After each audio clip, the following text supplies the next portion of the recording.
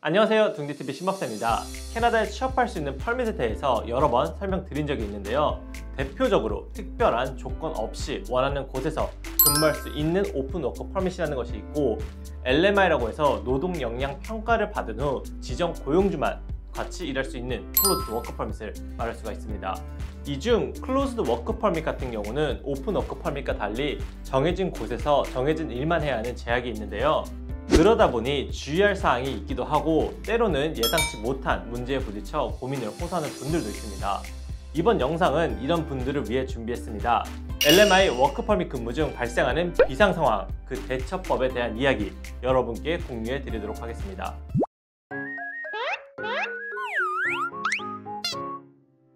우선 간단하게 LMI가 무엇인지에 대해 언급 정도만 하고 넘어가도록 하겠습니다.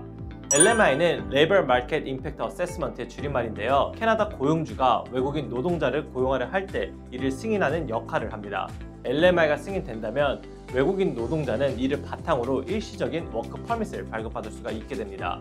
LMIA는 외국인 근로자가 아니라 고용주가 신청하는 절차로 특정한 조건에 부합되어 발급되는데요. 다음과 같은 요건을 충족해야 합니다. 보시다시피 일하는 분야, 지위, 임금을 비롯해 내국인을 고용하려고 했다는 증거를 밝히는 데 필요한 자료라고 보시면 됩니다. LMIA를 이해하셨다면 근무에 제한이 있는 것도 이해하셨을 텐데요.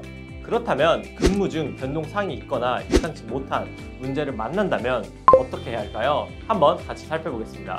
LMI를 통해 워크 퍼밋을 받아 일하고 있는데 만약 LMIA를 승인받았던 업체가 문을 닫는다면 이런 경우엔 정말 안타깝지만 일할 수가 없게 됩니다. LMI를 통한 클로즈 워크 퍼밋은 딱 지정 고용주와 지정된 일만을 할 수 있기 때문에 이런 상황이 발생된다면 다시 새롭게 LMIA를 지원해주는 다른 업체를 찾는 것이 가장 좋은 방법입니다. 만약 업체는 그대로지만 고용주가 변경된다면 어떨까요? 이 경우엔 어떤 상황인가에 따라 대책이 바뀔 수가 있습니다. 몇 가지 조건만 충족한다면 별다른 조치 없이 계속 일할 수가 있는데요.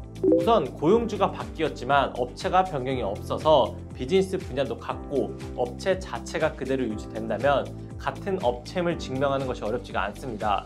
특히 업체명이 같다면 더더욱 유리합니다. 여기에 더해 근로자는 기존 closed work permit과 같은 조건으로 일해야만 합니다. 근로자가 같은 조건으로 일하는 것은 무엇일까요? 앞에서 언급한 것과 같이 업체가 유지된다고 하더라도 일하는 조건이 달라진다면 기존 work permit 대신 새로운 work permit을 받아야만 합니다. 이때 같은 조건이라는 것은 임금, 직책, 직무 등을 모두 포함하는 것입니다. 업체 정보를 포함해 이런 모든 조건을 그대로 유지하게 된다면 업체 고용주가 변경되더라도 기존 work permit을 그대로 사용할 수가 있습니다. 업체가 같다면 상관없이 기존 work permit이 유효하다고 말씀드렸는데요. 만약 회사가 이전을 해서 기존 주소를 사용하지 않게 된다면 어떤 상황인가에 따라 다를 수가 있습니다. 서비스 캐나다 담당자가 이런 상황을 설명했을 때 잘 이해해주고 변경 승인을 하는 경우도 있지만 이는 100% 확실하다고 할 수가 없는데요. 심사관에 따라 다른 결정을 할 수 있기 때문에 우선 담당자나 전문가와 의견을 나눈 후 그에 맞게 대응해야 하는 것을 추천해 드립니다. 이렇게 보면 LMI를 통해 워크 퍼밋을 받은 근로자분들이 여러모로 permit 때문에 기존 고용 상태를 유지해야 하니 조심스러울 수밖에 없지 않을까라고 생각하는 분들이 있을 수 있는데요. 그래서 만약 부당 대우 또는 부당 해고를 당하면 어떻게 대응해야 할지 고민하는 분들이 꽤 많을 거라고 생각됩니다. 당연히 캐나다 정부는 고용주의 부당한 대우에 대한 여러 제도를 만들어 두고 노동자를 보호하는 정책을 펼치고 있습니다. 기존의 LMI를 통해 근무 중 부당한 대우를 받았다는 것이 명확하다면 취약 노동자 워크퍼밋 VWOWP를 신청할 수가 있습니다. 이는 캐나다의 특별한 permit 프로그램 중 하나인데요.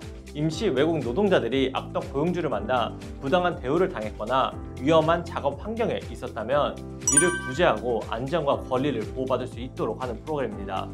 해당 permit은 다음과 같은 특징이 있는데요. open work permit과 마찬가지로 자신이 어떤 고용주와 일할 수 있는 제한 없는 work permit입니다. 만약 기존 LMIA work permit 상에서 부당한 대우가 확실하다면 이렇게 구제 프로그램 이용도 가능합니다. 이 밖에도 LMI를 통해 워크 퍼밋을 받아 일을 하는 경우 부딪히는 다양한 문제들이 있을 수밖에 없는데요. 앞에서 설명해드린 것은 아주 일반적인 답변으로 또 당사자의 상황, 업체와 근무 환경에 따라 여러 조건 등이 다르기 때문에 모두 개별적인 확인과 대처가 필요하긴 합니다. 하지만 기본적으로 LMI를 통한 워크 퍼밋은 해당 LMIA를 승인받던 기존 조건을 그대로 유지하면서 일해야 한다는 것이 통상적인 답변이 될 수 있겠는데요. 이와 관련해 더 궁금하신 점이 있는 분들 아니면 상담이 필요하다 싶은 분들 계시면 언제든 저희 둥지 이민 컨설팅에 문의하시길 바랍니다. 친절하게 상담해서 합리적인 해답을 제시해 드리도록 하겠습니다. 상담 문의는 저희 카카오 플러스 통해서 해주시고요.